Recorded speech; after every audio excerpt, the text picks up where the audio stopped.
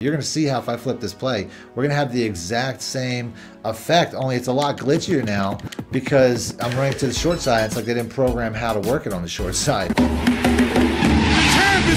For the cheapest, fastest, most reliable MUT coins in the market, check out my coin sponsors at AOEAH.com and use discount code MONEY for 3% off. Link in the description below.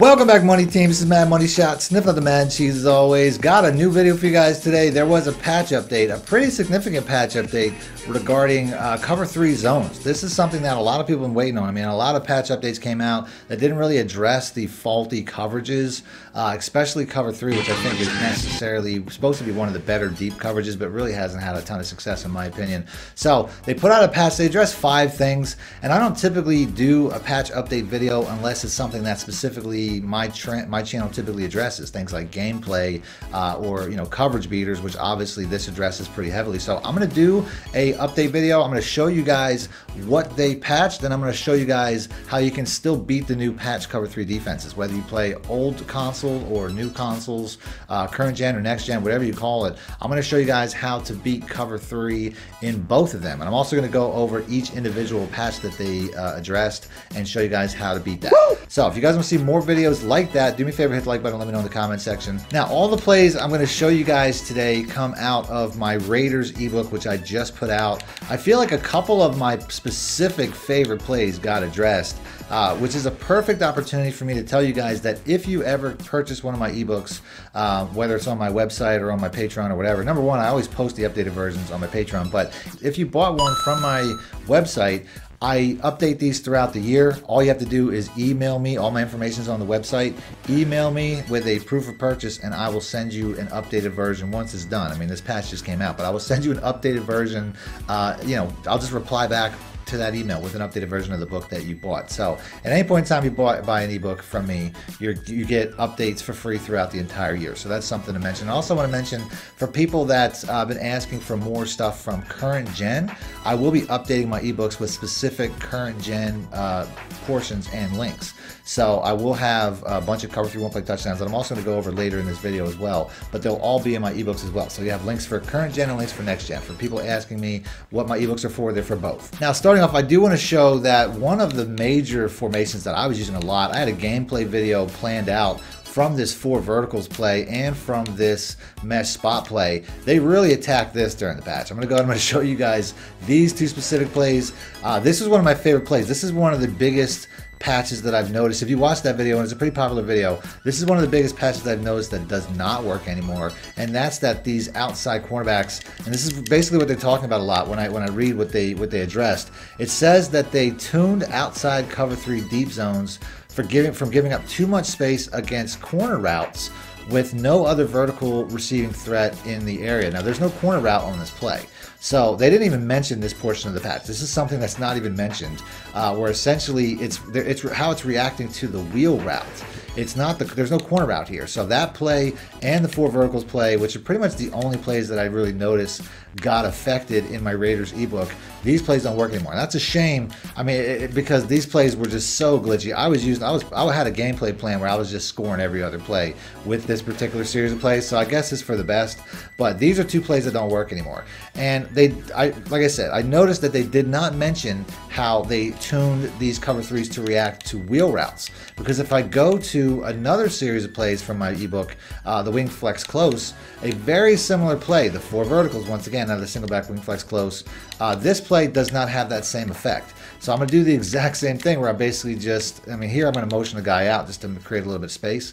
But this is another play. It's the exact same concept, really, because these outside guys are on wheel routes. Although there, man, that guy was just hunting me down. You can see it still has effect, even though if, I mean, if I had Henry Ruggs there, it would have been even easier. If I didn't have a guy in my face and I didn't have, um, you know, uh, if I had a faster receiver there. If I had Henry Ruggs run that B route, very easy one play touchdown against cover three. So they simply just patched that particular play, not necessarily the concept itself, like I'm going to go over some of the concepts in a minute. If you guys want to see a full breakdown of this particular offense, I already have it recorded uh, and I plan on putting it out. So hit the like button, let me know in the comment section whether you guys want to see this. I can put this out as soon as Saturday if you guys want to see some really good post-patch passing plays from this formation. So that's a play and a concept that still works. Cover three still are pretty bad at uh, reacting to wheel routes on the outside. You can still use that. But let's go over the specific concepts that they address. Number one is bunch concepts. I guess that they realize that gun bunch concepts are the meta and they really wanted to patch that. Gun bunch concepts similar to, let's use the bunch trail because this has two routes that they refer to in the patch. They refer to um, how they basically tuned outside cover three deep zones to better anticipate threats coming from across the field, which this has on this play.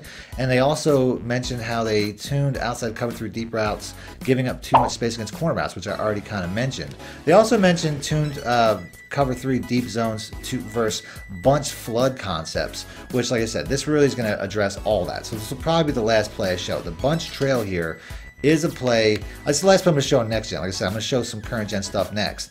But that's going to be one of the biggest offenders that they tried to address. So number one, whenever you were to run, you know, these type of bunch concepts, typically the, me the meta was to run it from the hash mark to the open side of the field. So this would pretty much be the look. All we would have to do is put the B route here on a streak.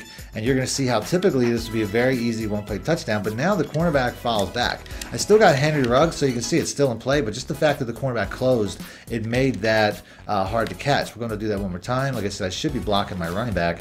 But uh, you can see, I mean, the, the cornerback's still out there. Where pre-patch, cornerback wouldn't be there. It would be gone. So that's something that they address, but there's a very easy way to address this, and that's all you have to do is run it to the short side of the field, or I'll leave it where I'm at and just flip the play. It's really that simple. The only thing that they addressed was how you or was running it to the open side of the field. They addressed how the cornerbacks react on the open side of the field. So blocking my running back this time because I want to give myself some time. But you're going to see how if I flip this play, we're going to have the exact same effect. Only it's a lot glitchier now because I'm running to the short side. It's like they didn't program how to work it on the short side.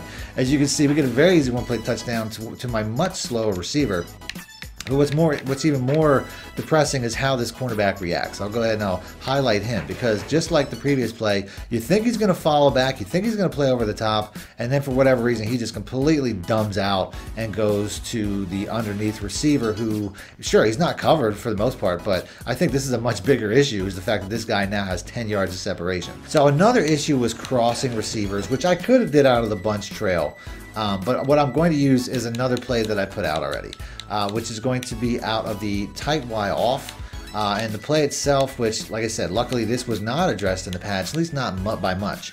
And the play itself is the PA post dig. I'll have a link in the description for the full breakdown of this offense. Although I think I have to still put out the full breakdown of the offense. I think that's really only two plays. Hit the like button if you guys want to see a full breakdown. But the PA post dig is going to be uh, still a very successful cover three one play touchdown. So all you really have to do on a play like this, I mean, I could just block my tight end and run like this, I'm going to have success, uh, which is something that they make it sound like they address. Although you can see right there, that cornerback definitely shoots in, but since I have Henry Ruggs, it's a little bit easier. It's kind of weird though. Let's watch that. Uh, let's watch that replay because you can see this guy. I mean, they definitely tune this guy's awareness up because I'm just going to run this at regular speed. You can see he just shoots right inside, which is not something he typically does to take away that uh, receiver. But like I said, there's still plenty ways to make this play work, and that includes the original setup that I put out, where typically this guy would just run straight back. You can see he gets like a speed boost and gets to the inside and cuts that off. So that's basically what they mean when they say tuning. They basically just put these outside thirds on steroids. The best way to handle this is just basically rolling in the direction of the throw because typically outside cornerbacks still react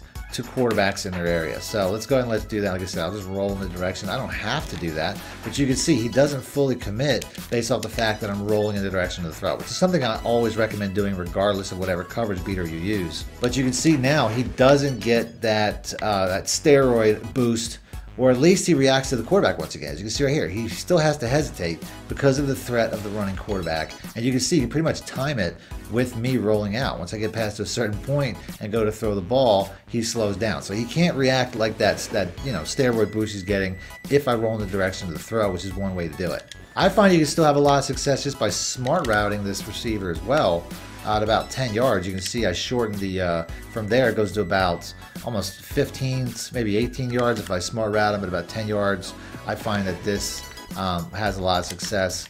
Uh, but we'll still try to roll out in the direction of that throw anyway.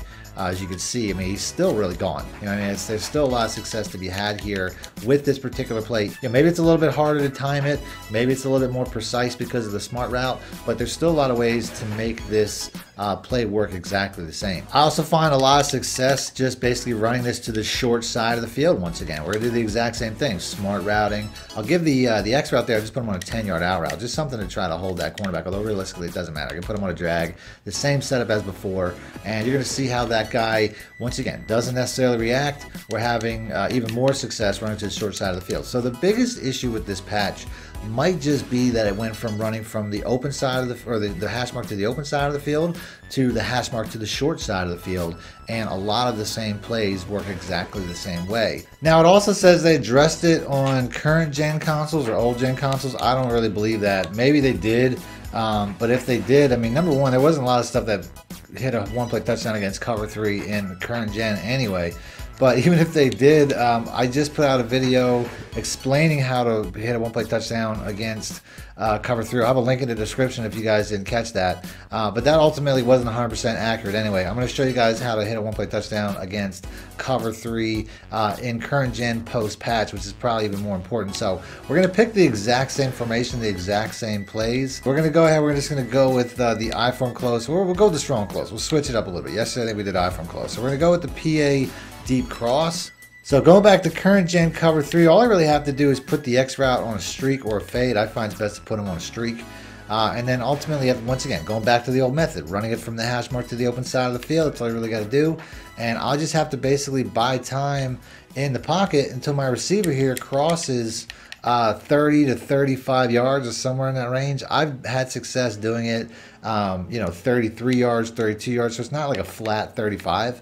But if you try to pass lead before he gets to a certain point, it won't have success. So I got I typically find it's like right around this range here, um, which you can see the ball's still in my hand. I mean, it, it can't leave the quarterback's hand until the receiver crosses a certain distance. And I think it's I want to say it's like 31 plus, but I really don't know the exact number. So it's a good it's a good range between 33 and 35 yards or deeper. And you can see I can I can pass lead outside, which typically you can't do. Now the other important part of this factor here is once again, just like in the previous uh, current or next gen that I showed, at some point this cornerback will stop and react to a different receiver, which in this particular scenario is the crossing receiver.